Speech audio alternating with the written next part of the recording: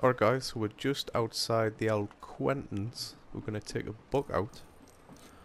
Or we're going to steal one. Let's, let's have a look inside.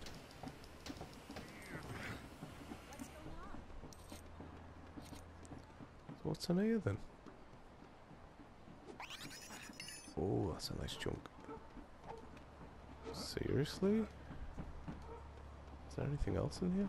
Oh, hiding away at the back, we have the tribal chief disguise. Ah, that's pretty cool. Well, I'm glad I came here. Alright guys, so that's how to do that. Thanks for watching. I'll talk to you in the next one.